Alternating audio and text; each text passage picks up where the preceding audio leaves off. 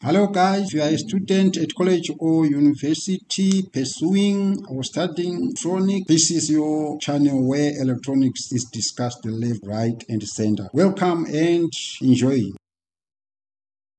Welcome to our fourth video as well as the second video of presentation on PN junction. This time we are going to look at diode circuit models. Motion Marufu is my name and motionmarufu60 at gmail.com is my email address. Plus 26371753586 is my WhatsApp number. Guys, I hope you are going to enjoy this application of circuit theory or electrical engineering technology technology. Enjoy it. In this video presentation, the following are our objectives. You must be able to list and describe the three diode models and the applications of each. Then illustrate the three diode models with the aid of circuit diagrams. Then you must be able, using characteristic curves, to illustrate the operation of the three models. And the fourth one, using Kirchhoff voltage law and current law, you must be able to perform simple calculations of simple diode circuits. No need to panic when you hear Kirchhoff's voltage law and current law, circuit theory. These are just simple diode calculations. Then the last one, but not the least one, must be able to plot a load line on diode characteristic curve and establish the quiescent point. Introduction What is a real diode? A real diode is a physical diode which you would normally use in a, a, practical circuit. And we know that it is also known as a PN junction diode or simply a diode. What then is a diode model? This is a theoretical simplification of a real diode. And, and uh, is it important? Yes, it eliminates unwanted information, making calculations and explanations easier. You will see it. So you may be required to replace diodes in a practical circuit by an equivalent circuit simply for analysis purposes. And we call that equivalent circuit and it will be on paper. We call it a circuit model and in this case we are looking at a diode circuit model and there are three methods of replacing a diode that we are going to look in this presentation. We are first going to look at the ideal diode. And you know what the word ideal means an english word so we have got, uh, if you remember forward biasing and reverse biasing, we said a diode conducts when forward biased and it does not conduct when reverse biased. So we are saying the ideal diode is viewed as an open switch when it is reverse uh, biased and at a closed switch when forward biased. Why? Reverse a switch does not turn the light on when it is open or when it is off. Hence, it is representing a reverse biased diode.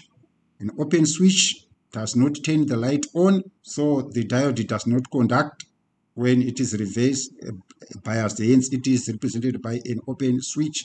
A closed switch turns the light on, and it is representing a forward uh, biased. Let's look at the characteristics of an open and a, a closed switch.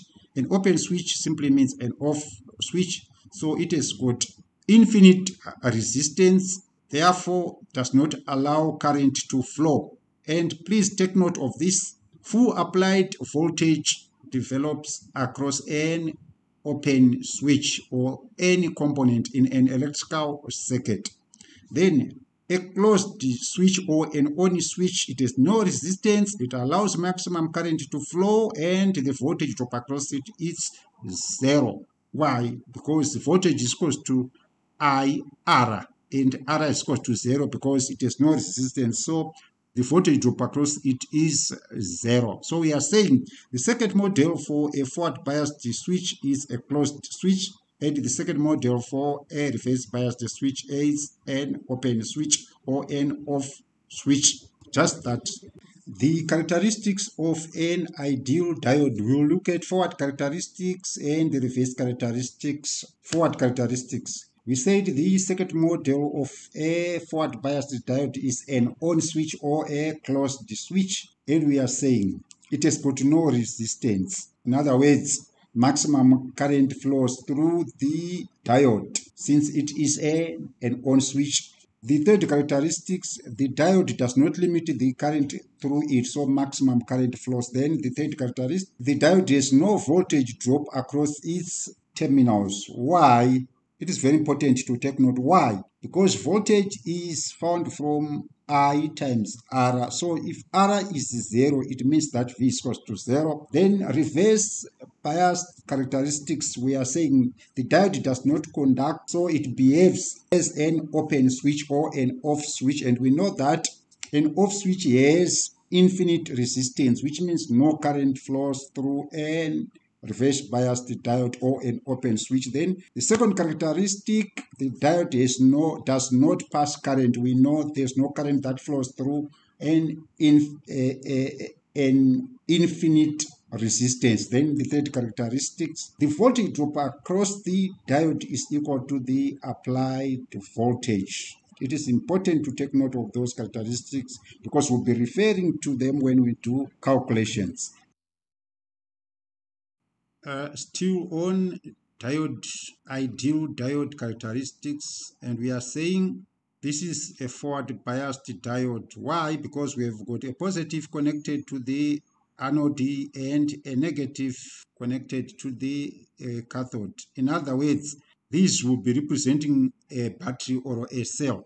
And our our forward current is going in this direction and a reverse biased diode we've got the negative terminal of the applied voltage being connected to the anode the positive terminal of the applied voltage being connected to the uh, cathode. So this diode is reverse biased. The equivalent circuit or the circuit model of a forward biased diode is a closed switch. This is a switch guys. This is the symbol of a switch. So it is uh, closed. So current will flow in this direction. But for a reverse biased diode, it is an open switch as you can see or an off switch. So we call it an open switch. So no current will flow. So if you are just asked to give the circuit model of, of a forward biased diode, it's a closed switch. Circuit model of a reverse biased diode is an open switch as shown. Then device resistance for a forward bias diode because it is a, a closed switch, the voltage across this, sorry, the resistance is zero. This is a wire. While for a an open switch or a reverse biased diode, it's infinite resistance. Therefore, device current is zero for an infinite resistance, while for a forward biased diode, device current is limited only by the current limiting resistor. Then for voltage, the voltage across a short circuit is zero, while the voltage across an open switch or a reverse bias is equal to the applied voltage. Guys, this is very, very important. These characteristics, they must stick in your mind. They are very, very important because we will use them when we do circuits of a, or when we do diode circuits. Fig 1.2 Ideal diode characteristic curve. You remember characteristic, VI characteristic curves for a, a diode. This is an ideal one. Why are we saying this is an ideal one? You remember the knee point or the knee voltage and we said 0.3 for a, um, for a device made from silicon and 0.7 for a device made from germanium sorry from silicon rather. And we are saying for an ideal diode because the voltage drop across it is equal to zero it means if when a diode is forward biased and you are measure and you measure the voltage across it you will find zero. So the voltage across it will be zero and the current will not be zero. In other words it will be increasing or it will be a maximum. But we are saying, so these are the forward characteristics. For the reverse characteristics, we are saying the voltage is equal to the supplied uh, voltage, which is equal to the reverse voltage. But current will be equal to zero. Current will be equal to zero because voltage is along the x-axis and the resistance is along the y-axis. So these are the VI characteristics for an ideal diode. a discussion of the characteristic curve. If we increase VR, reverse current remains at zero, meaning that a reverse biased diode is an open circuit, a switch or an off switch, because there's no uh, current flowing through the diode. The applied voltage is dropped across the terminals of the device. In other words, if you take a voltmeter and you measure the voltage across a reverse bias diode, it will be equal to the applied voltage. For a forward bias uh, diode, we are saying for an ideal diode, VF or the voltage across the diode is assumed to be zero. Therefore, the diode starts conducting when instantaneously the applied voltage is just greater than zero, not at VB or at a cut in a voltage and we saw it conducting at almost zero. And the voltage drop across the diode is zero also i think it's now uh, clear. We are now going to look at a, a practical diode. And a practical diode has got knee voltage across it vk so vk is not equal to zero. But at the present moment we are still assuming that it is behaving like a, a closed switch, hence VF is equal, to, sorry, RF is equal to zero. Under such a, a, scenario, it means that if RF is equal to zero and knee voltage or cut-in voltage, also known as the barrier potential, is not equal to zero, it means that when we plot the VI characteristic curve, VF will not be equal to zero. Forward voltage VF a slight voltage is developed across a forward biased PN junction diode. It has got an effect on the characteristic curve as illustrated in the next slide. Uh, let's look at the two uh, characteristic curve graphs. One is for the first one is for an ideal diode, and the second one is for a, a practical diode. Take note that knee voltage or cut-in voltage is approximately equal to 0.7 and the assumption made is it is made of silicon because silicon has a, a barrier voltage or knee voltage of 0.7 7. So we are saying the point where IF suddenly increases is labeled VK in the figure or in the second graph. This, this label is commonly used to identify what we call the knee voltage and knee voltage VK is often used to describe the point on a voltage or VI characteristic curve where a current suddenly increases or decreases depending in which direction you are going. So for an ideal model, VK is equal to 0 and for a, a practical diode, VK is equal to 0.7. Go through the slide and see it makes sense, otherwise I have gone through it.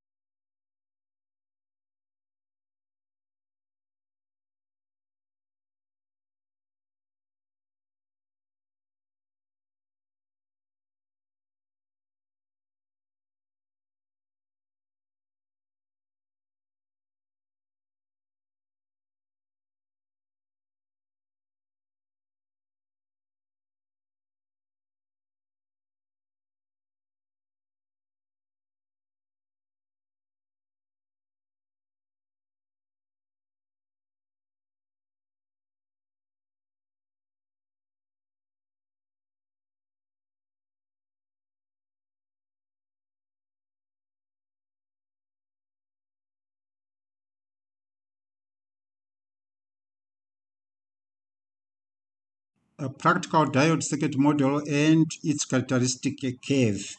As you can see, for a forward biased diode, we said VB or VF or knee voltage, you can use any of those designations. It's not equal to zero, hence we have got a voltage.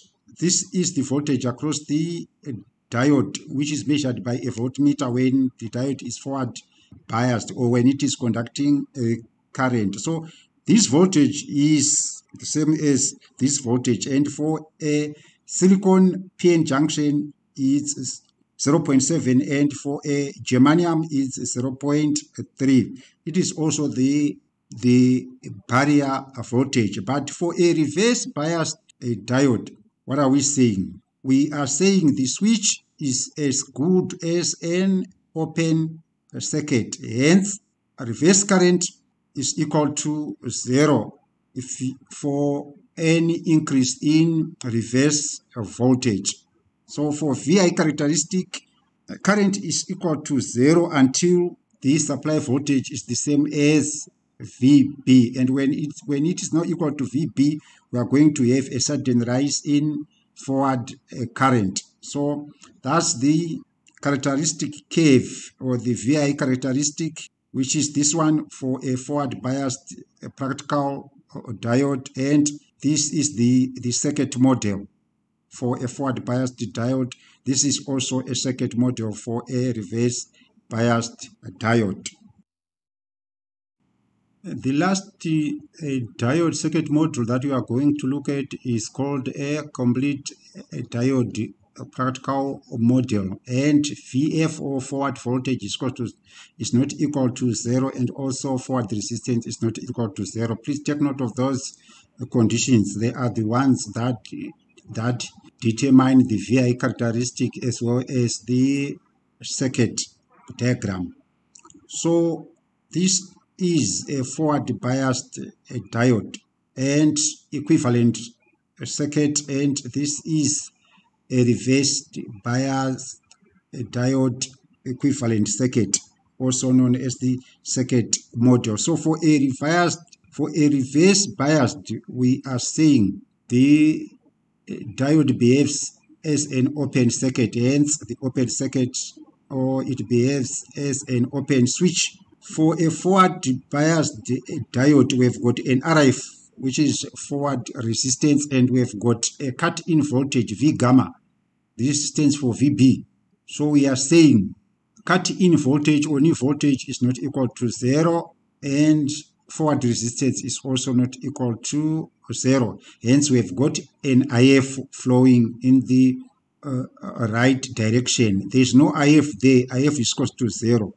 Please take note of the VI characteristics of a, a forward biased as well as reverse biased diode. For a reverse a biased diode, an increase in reverse voltage results in no increase in current or reverse uh, current rather. So reverse current remains zero for a reverse biased diode. But for cut-in voltage, see what is happening now we now have the this slanting effect is now due to RF, which is not equal to zero. It doesn't go, there is no sudden increase in forward current this time because of the effect of forward resistance. A diode circuit analysis using Kirchhoff's voltage law, you remember the prerequisite and please, at the moment, let's just ignore the directions of the arrows. I don't want them to confuse you, but we are assuming conventional flow of current current flowing from positive to negative but through the load or else it will become a short circuit so what are we saying supply voltage is e if current flows in this direction we are going to have a drop across the diode, which is our VB. In other words, the diode will conduct when our voltage has exceeded the knee voltage. In other words, knee voltage must reduce to zero because the depletion region would have disappeared. So we are saying supply voltage E minus the drop across the diode as shown minus the, the drop across the resistor VR give us zero. If we move the diode voltage to the other side of the equal sign, it becomes a positive and mathematically it becomes E minus the voltage across the resistor gives us the drop across the diode. Right, but we know that the, the voltage across the diode is equal to diode current times forward resistance. Hence, we are going to substitute this in this formula. So we are going to say supply voltage E minus the drop across the diode, which is ID RF minus VRS equals to zero. So how do you calculate diode current? Your diode current becomes using your mathematics knowledge it becomes e minus vd divided by rf that's diode circuit analysis using kirchhoff's voltage law. I think it makes sense another very important uh, concept in electronics a load line. What basically is a load line? A load line is a tool that is used to find the exact value of diode current and voltage and we are going to uh, derive the equation for the uh, load line from the circuit shown. We've got supply voltage of Vs, a current limiting resistor of Rs, and a voltage drop of Vd across the diode. From Kirchhoff's voltage law, if you must be able to derive an equation for Kirchhoff's voltage law from a given circuit, we are saying supplied voltage Vs in the clockwise direction minus the drop across the current limiting resistor RS minus the drop across the diode must give us a zero and such an equation is called Kirchhoff's voltage law. But we know that the current that is flowing th through the resistor which we have designated as IR is the same as the current flowing through the diode. So we are going to designate that current as ID. Let's move to the next slide. More on load line, right? VRS is the voltage across the resistor and how do you find it from Ohm's law is the current through the diode which is the same as the current through the resistor since it is a series circuit times RS which is our co-current limiting resistor. We are going to use this this is going to replace the voltage across the resistor. So we are going to say V supply voltage Vs minus IDRS minus Vd according to Kirchhoff's voltage law, it must give us zero. Right, uh, mathematically we have moved this to the right side of the equation. So it's going to be IDRS is equal to Vs minus Vd. It's correct. Then how do you calculate a diode current? We simply say supply voltage Vs minus the, the, the drop across the diode, which according to our circuit is Vd. It can be cut in voltage V gamma or Vk, please take note, divided by the series resistor or the current limiting resistor. So this is the current through the diode and it is the same as the current through the resistor. It is a series circuit Please take note and the current through a series circuit according to our circuit theory is the same. Please take note of the following. If we include forward resistance, the denominator will not just be equal to RS. In other words, it will be RS plus RF instead of just RS, where RS is the current limiting resistor that avoids damage to our diode you are going to see why these calculations are going to help us to draw a load line. So we are now going to use an example to find diode current. Please take note that this diode current is the same as IR, which is the current through the resistor. Why? Because this is a series circuit. These two are showing the ground. So this point is the same as this point. So our Conventional flow of current is going to be through the resistor, through the diode and back to the battery. The circuit becomes complete. So for an ideal diode, you remember the second model for an ideal diode, we said VF or diode VD is equals to 0 and RF is equals to 0. So this is equal to 0 because there is no, this will be acting as a switch or as a wire. So we'll say 2, which is our supply voltage, minus 0 divided by the uh, current limiting resistor, which is 100. It's going to give us 20 milliamps. Can you use your calculator to establish that? You must be able to convert from amps to milliamps. And the assumption is we are assuming an ideal diode. If we plot this on the characteristic curve, we are saying VF or V, or v gamma or knee voltage is equal to 0 and ID is equal to or 20. This is going to give us the point on the vertical axis and this point is called the saturation because that's where maximum uh, current is flowing with 2 volts being across the series current limiting resistor.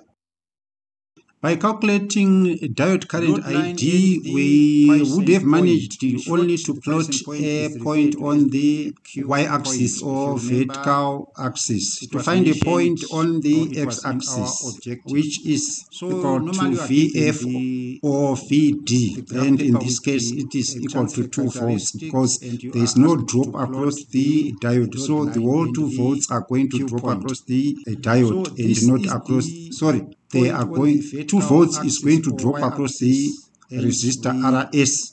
And we are going to substitute this in the equation. What do we get? ID is equal to 2 minus 2 divided by 100.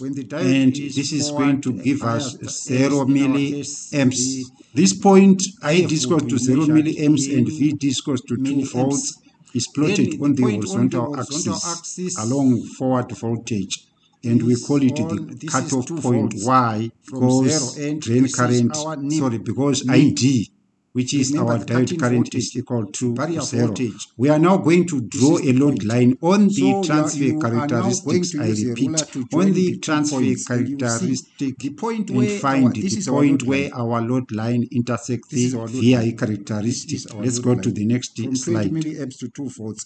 The point where it cuts, the point where it cuts the or the point where it intersects the characteristic curve is what we call the operating point or the uh, Q point. Take note, guys, it's not difficult as long as you know your Kirchhoff's voltage law and your Ohm's law. It's so easy, but you must be able to convert amps to milliamps because normally your vertical axis will be in milliamps on the characteristic curve graph.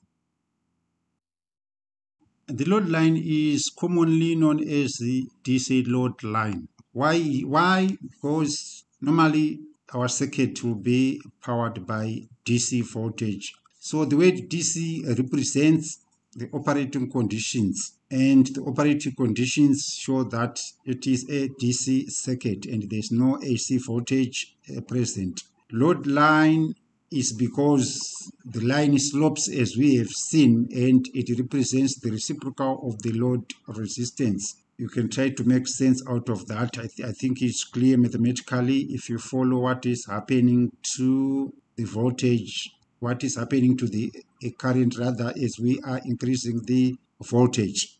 Then we've got factors that affect our load line and our Q point, which is our quiescent operating point. One, the DC supply voltage. We saw it. Then it also depends on temperature. It also depends on the load resistance. Then this point varies from device to device, that is from transistor to transistor. But would, the Q point must not change. We must, uh, each circuit or each transistor as we'll see in the near future has got its best operating point. If it is an amplifier, it must not distort or it must not cut. Therefore, we have got the best operating point and those are the factors that determine it.